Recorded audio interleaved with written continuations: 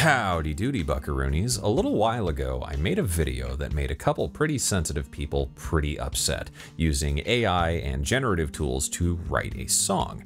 Naturally, today, we're here to do it all over again. This video is an experiment I have wanted to conduct for a very long time, and I'm extremely excited because the time is finally here. In today's video, we are going to let my computer and some AI tools write, mix, and master a song with as much of a hands-off approach as possible to put these AI tools to the test.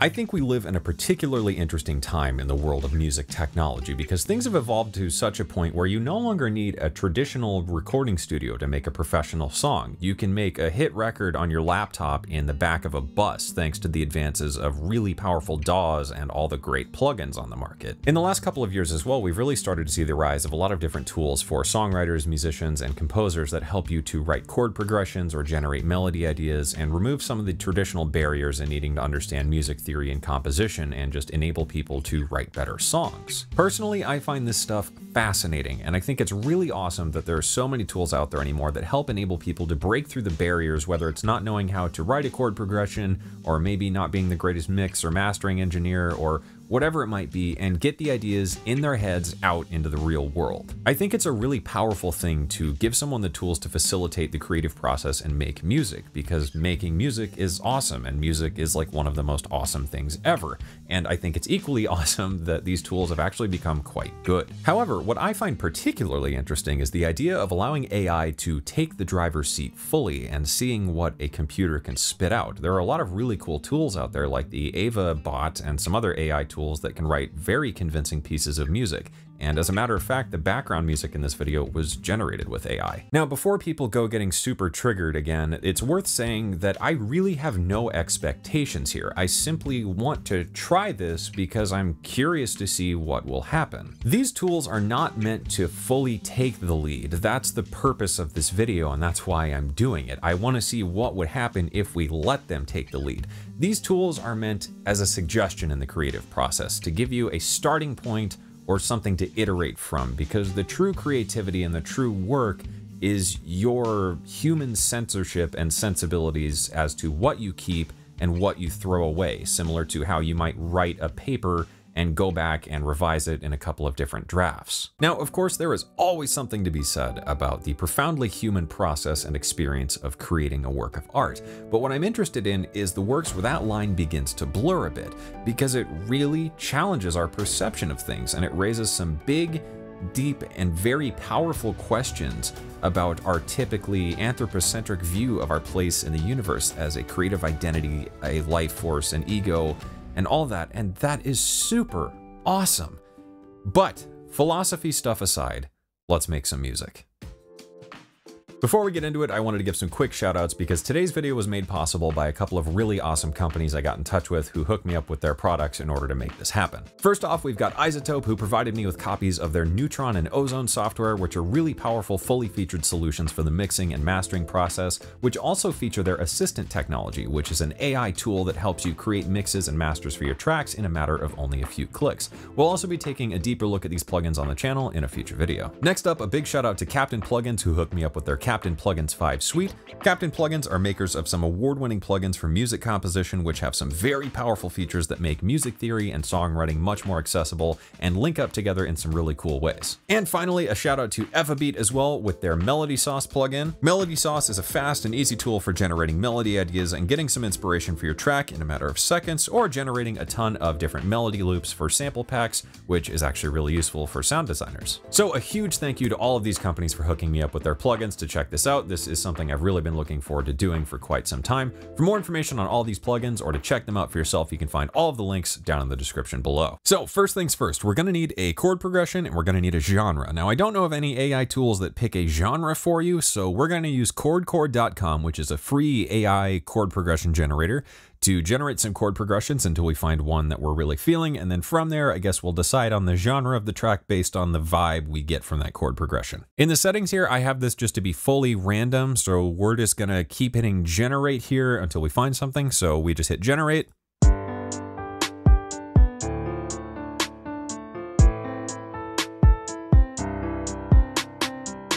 and keep doing that until we find something good. Okay, so here I've got a chord progression that I'm really digging. It sounds like this.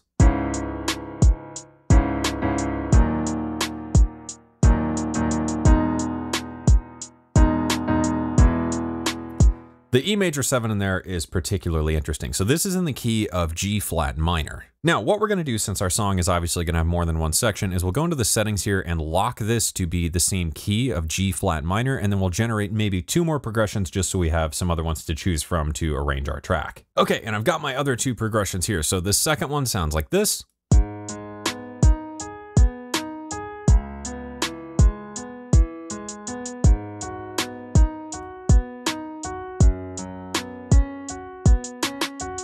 Which is pretty cool. I think that fits and would be maybe like a nice bridge or something, or maybe the verse. And then the third progression sounds like this.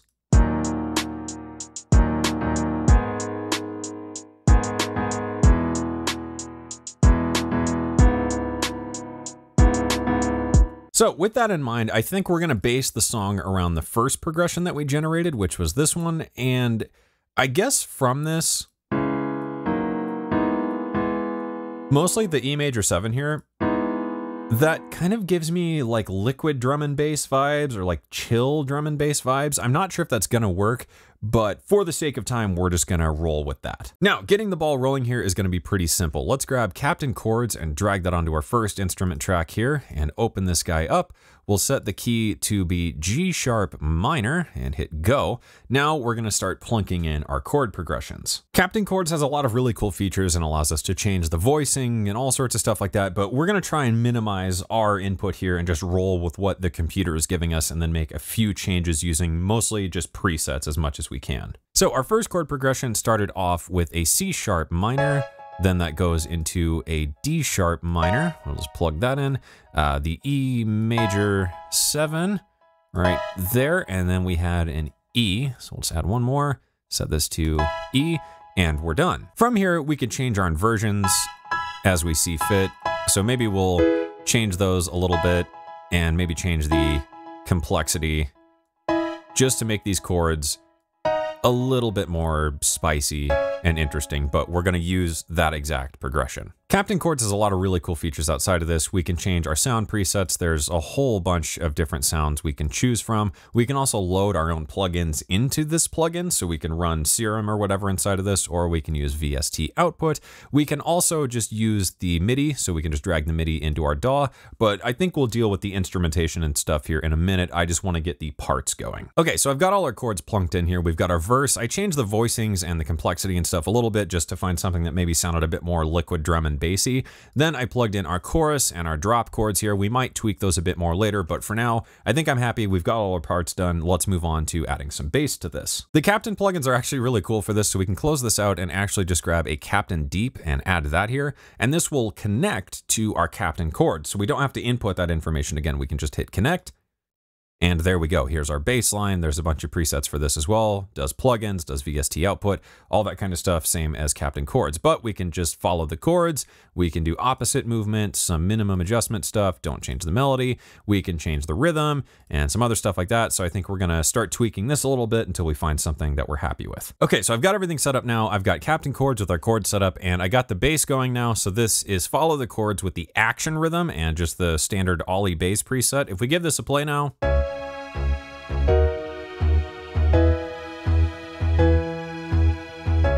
I think that has that, you know, kind of nice rolling liquid chill drum and bass feel. So let's move on and maybe start adding some melody next. Okay, so I figured every drum and bass song needs an ARP. So I created an ARP sound in Dune here. This is just kind of a sample and holdy thing. So the sample and hold is targeting the wavetable position and the filter cutoff.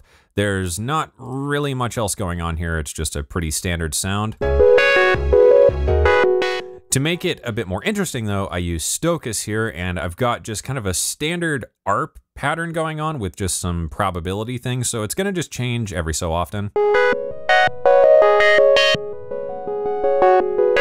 But that gives us a nice chill kind of plucky ARP to sit underneath everything. Moving right along to melody here. I got melody sauce up. I set this to G sharp minor and just clicked the dark simple five times and generated five different melodies. I picked three that I thought sounded the best and would probably suit the track because some of them were a little more pop sounding. One of them was maybe a little trappy, so I picked three that sounded the best to me. The sound is Dune 3 here. This is a really, really simple patch. This is another sample and holdy thing. There's two sample and hold LFOs. One is at eighth notes, one is at quarter notes. LFO 1 is going to the ring mod volume as well as the FX1 distortion drive. The distortion is actually a rate crusher, so it's kind of a cool sample and holdy bit crushy thingy. There's a delay and a little bit of reverb. LFO2 is going to oscillator 3's volume, and that's really all there is to it. So with all that done, I think we're now ready to maybe start arranging out some of the parts. So we'll go into Captain Chords and Captain Deep and start dragging in these MIDI clips just to set things up, and then maybe we'll choose some different instruments for them a bit later. Okay, I've got an arrangement I think I'm pretty happy with. I used our verse progression here for the first four parts. The verse one then kind of drops out here for maybe a build up or something. The chorus goes around four times. That's going to be kind of our A drop. Uh, drop one comes in here, so I use the third progression as kind of the middle section bridge thing. And then we've got the drop going around one more time here, so uh, four times actually. And then the verse here is going to kind of act as the outro. The ARP is probably going to run the whole time, maybe. I might just automate that on or off because AI can't really do that and AI can't really arrange, at least not the tools I have here today. But this is sounding pretty good so far. So let's start bringing in some drums. The only thing I've done other than that is just bus all of the instruments together because we're going to have to sidechain, so I figured I'd just make my life a bit easier there. For the drums here today, I think we're going to use Captain Beat, which is part of the Captain plugin suite, so we'll drag this guy in here.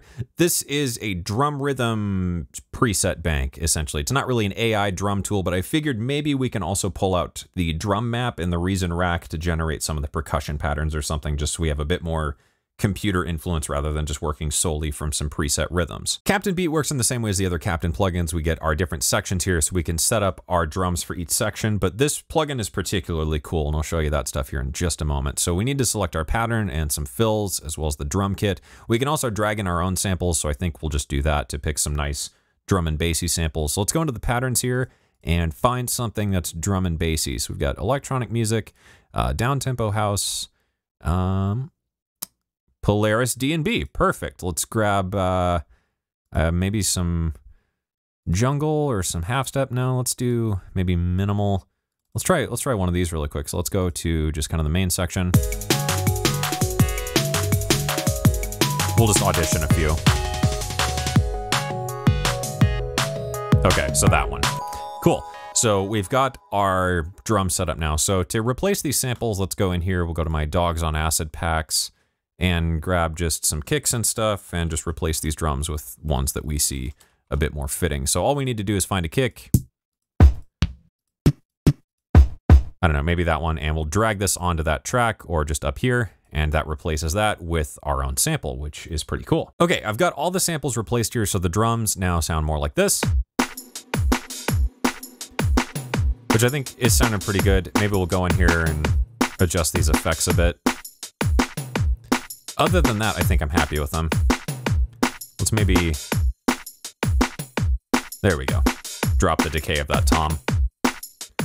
Other than that, I think things are sounding nice and tight here and punchy like we want for some D&B drums. Now, what I think is really neat about this plugin is the ability to export. We actually get a couple of different options here, which is really, really cool. I, actually haven't seen something like this before in one of these plugins, but we can actually export not only the master audio or the master MIDI, which is really nice, but we can also export the channel MIDI or the channel audio, meaning we can set up our drums in here and then export the stems and mix them individually, which is super awesome. Just like the other plugins, all we need to do is just grab this and drag it into our DAW. So we'll do this for each of these channels and then start doing a couple other drum patterns and maybe some fills here and there. That way we can start getting the drums going for this song. But wait, I just discovered something really cool that I didn't notice at first. So in the master audio right now, this is the full bus, but if we mute something, you'll see it takes out the kick here, so we can actually stem this out a lot faster. So if I solo out, let's say my snare and my clap here, which are put together, I can export the master of those two elements soloed, and we'll do the same with the hats and percussion here,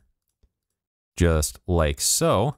And now we've got all our percussion bus together as one stem, And then the same with the toms, which is a actually really really nice thing because now we've got our drums as four tracks, which is a lot more manageable. I think we've got our drum patterns almost ready here. I've got two of them going and I wanted to get one more, but I'm not totally sure of this rhythm here. So I think what we'll do is go into the basic here and change only the snare and clap rhythm, which we can do. So we'll go in here and start changing this by changing the snare rhythm. We'll change that here as well.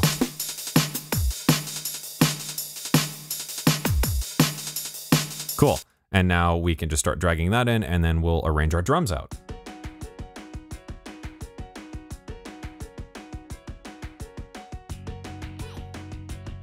All right, everything is arranged and we are ready to get started with the mixing process. I added a couple of different instruments here just for the sake of the vibe because the AI can't really make creative decisions like that as to like the instrumentation and stuff. I will quickly walk you through that. So the chords here I've changed to a couple of different instruments. I've got a piano down here. This is just a rapid preset called the Cinema Piano. Then we've got a couple of pads and stuff. Uh, the main keys here are another rapid preset. This is Fantasy Sweep. I've got some plucks here to fill out the drop thing. This first one is air bounce inside of rapid. The second pluck layer below that is Carabic pluck 2. Sounds like this. Then we've got a nice pad here. This guy is ambient pad 2. And finally, I added a bass. That's really it. The bass I just made myself inside of Rapid. This is just a standard uh, three voice Reese bass because it's drum and bass, and that's the bass that you use. A little bit of tube distortion and a low pass. That guy sounds like this. The only other notable changes I made for the arrangement are the ARP here. I've turned this on and off in a few sections just to arrange this track a bit more. I added some transitions and impacts here just for the sake of composition. It just made more sense with those. So that was a human decision, but you know, that's what it is. And then finally, I added in some breaks here. This is because it's liquid DNB and you need breaks to make it DNB, so that was a human decision, but I used breaks that followed the drum patterns as closely as possible. So it's sort of the same thing, just a bit of a creative flair. Now, we're ready to get on with the mixing process. To begin, I added a iZotope relay to every single track in this mix. Relay allows everything to communicate and allows the mix assistant to do its job because on the master bus, I've got the visual mixer here, which is part of Neutron 3. What the visual mixer is gonna allow us to do is set the initial levels for everything and kind of get the ball rolling. Now, this is a good time to note that obviously the AI can't make creative decisions for the mix like filter sweeps or adding a reverb or things like that. At least not yet, maybe one day. But this is going to allow us to set our levels. Then we're going to go through on each track and add an instance of Neutron and let the AI mix that specific track for what it is. Then we will master everything using Ozone and we'll be done. This is pretty easy to do. All we need to do is go into our mix assistant here and there's a walkthrough, but we don't need that. So we're gonna hit begin. Now we need to select our focus tracks or the elements we kind of wanna highlight. So this is where we have to make a decision. The computer can't really do this for us because you have to select at least one thing for this to work. Now we say begin begin listening. Now what we do is play our song from the beginning to the end, and we will come back, I guess, after we go make some coffee or something.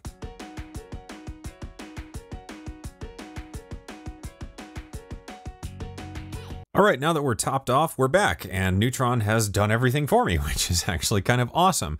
So we need to listen back now and make any adjustments. And we can also edit the classifications here. So Neutron tries to do the best job it can in identifying what each thing is. So we can see here that it correctly identified the drums as percussive elements. The keys it identified as a bass, so we might need to go in there and change that to musical and just make some other adjustments where maybe it got things wrong. Let's double check everything else. The breaks are percussion. The pad is actually a musical element. The Pluck came out as a bass, so I guess that's musical. Um, snare came out as focus. Toms are percussion. Tops are focus. It looks like everything else is correct. Now that we've got all that corrected here, let's go to, I guess, kind of like the main section of the song here, maybe the second drop where everything's going and just make any adjustments we need to.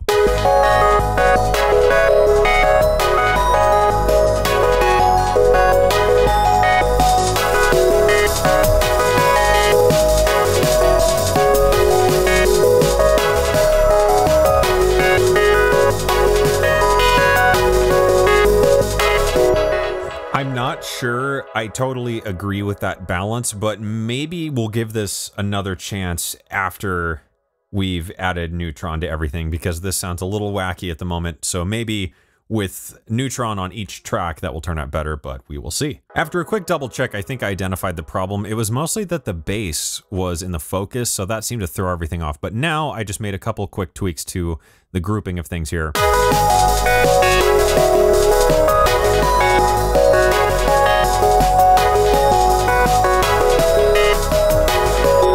Things seem to be sitting in a better place, but let's move on and start allowing Neutron to mix the individual elements. So Visual Mixer is done. We could further use this, but I think for now we're just going to leave that be because the rest of that is going to be subjective, humany creative decisions. So let's close this out and start using Neutron to mix the individual elements. I suppose let's start off with the keys. So I'll just show how this works really quickly, and then I will run through the rest of these and we can take a listen to the mix. So we'll call up a neutron here. We just want the full neutron. Then we could select a preset, but in this case, we want to utilize the Mix Assistant. So let's solo this out and we'll hit Mix Assistant here. And we're going to hit Track Enhance. We could also use Balance, but we've already done that with the Visual Mixer. So we'll go to Track Enhance and hit Next. We will select the instrument here. I guess we'll help it out and tell it that this is keys. Uh, I guess I would classify this as electric piano. We can set the style, maybe warm, and the intensity, I guess we'll just leave on medium and see what it spits out. So for reference, right now, it sounds like this.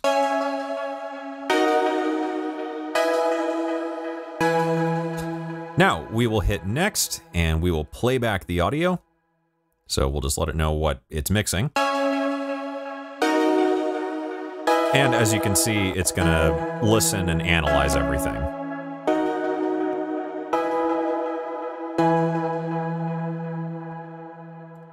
All right, cool. And this is the suggestion to help us get started. So it added a sculptor, which is kind of a balancing tool, an EQ. It looks like it wanted some highs uh, and cut some low end, and looks like these are maybe dynamic bands, I think. Yep.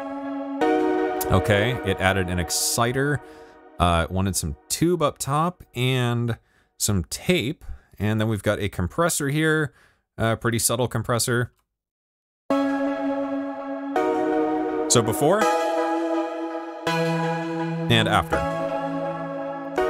So it definitely sounds warmer, and now we're gonna repeat this same process for every other element in this mix, which is obviously gonna take a while, so we're gonna use some Hollywood magic.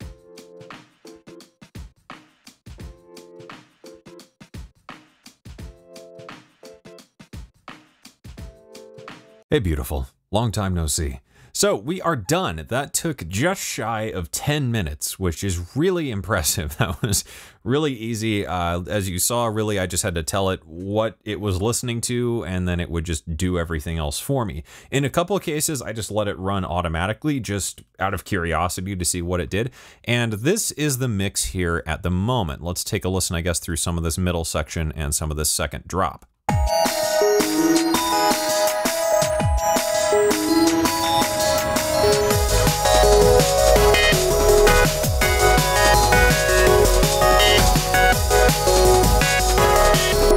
So that is where we're at at the moment. The only thing I added in was the sidechain here because it can't do that and make that decision for you. So I just added in some sidechain. Now I do want to run this through one more time because I feel like maybe the visual mixer will do a better job now that everything's kind of mixed as it will be because I feel like maybe it was interpreting things before they were finalized, which probably has some kind of impact on the AI's way of interpreting things. So I'm going to run this through Mix Assistant one more time from the start, and that way it can remix everything based on what will be the final sound because we're not going to tweak any of the mixing settings whatsoever. Now that we've got this done, I want to go ahead and change our focus here because last time it seems like that was hard on the AI to have so many things to focus on, which does make sense. Obviously, when you're mixing, you can't have everything be important because then nothing is. So let's just pick our main kind of standout thing, which I suppose is just going to be our melody and our ARP, and then the kick and snare. I think those are if I had to pick like the absolute most important things, that's probably it. So we'll do the melody, we'll grab the kick, and then we'll grab that ARP, and let this run one more time, and then we will master with Ozone and check out the completed result.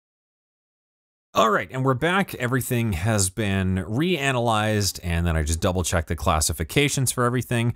Let's take another listen here and see where we're at.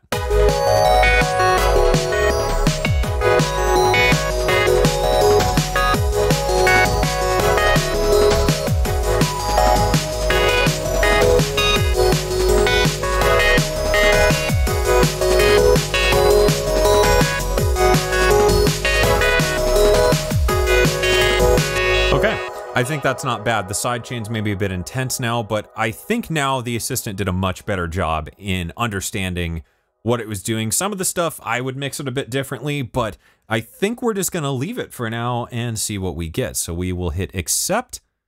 And there we go. Okay, so we've got Ozone open, and now we need to tell it what we're going for. Are we going for modern or vintage? I'm going to say modern. Loudness and EQ, uh, manual or reference with medium. Okay, we'll leave it on manual with medium intensity just to leave it in the middle of the road. And destination, streaming or CD. So this sets the maximizer ceiling to minus 0.3 for lossless and minus 1 dB. Okay, cool. Uh, let's just go. For the best results, play the loudest portion of your track. Sick. Let's do it. All right, let's let this do its magic.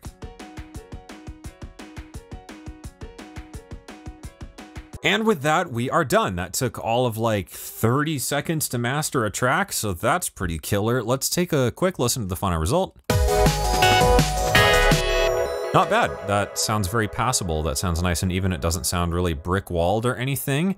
And with that, we have had our computer mix, master, write a song for us. That's pretty dope. Let's take a listen to the final product.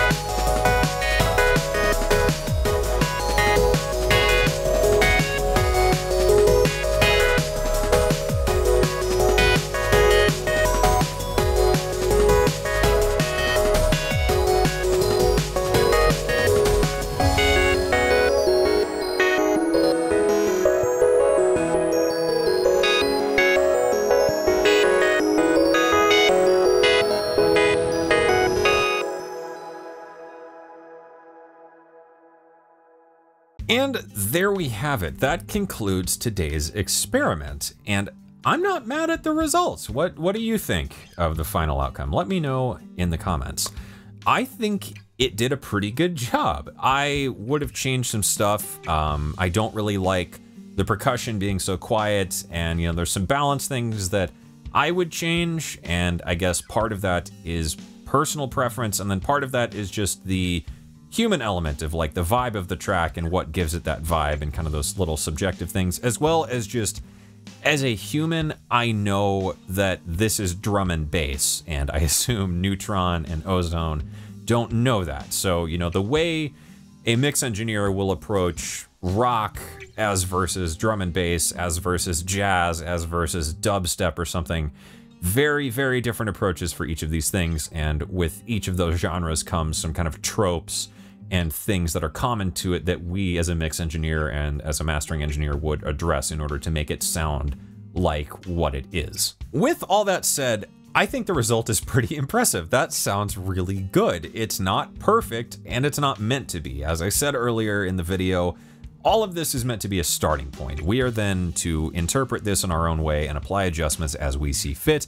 And obviously there's some creative decisions to be made with like the fade out and the transitions and other effects, you know, do we add a delay? Does this need reverb? Should I bit crush this? And you know, those questions that AI just can't answer at the moment. All things considered though, that was an awesome experience to be able to write, mix, and master a song in a matter of like 20 minutes, probably under 20 minutes, really. And I didn't even have to do anything. I mean, I didn't even have to like write the song. I just had to like do some basic arrangement stuff, pick the sounds, and add some basic tweaks with little ear candy things, and everything else was just done for me. And so I think that concludes today's video and today's experiment. I think that was a lot of fun. That was really cool. And I'm glad I was able to finally make this video happen. Like I said, it's something I've wanted to try for a long time and that was pretty cool. Big shout out again to iZotope, Evabeat, and Captain Chords for hooking me up with these awesome plugins that made this video possible. I think this was super fun, and I'm definitely looking forward to trying this again, and I'm really looking forward to seeing where technology like this goes in the future because I feel like it's only going to get better from here and it's going to get really impressive really quickly. And I think that concludes our time here today, friends. So thank you for watching. If you run a similar experiment and have access to these plugins or plugins that are similar, let me know how that turns out. I'd love to check that out. I think maybe in the future we could do a video where I mix and master this song myself and compare and contrast the results. That might be kind of interesting. But yeah, that was really cool. That was a lot of fun. So thank you for watching. I hope you learned something. Be sure to like and subscribe, and I will see you guys again soon.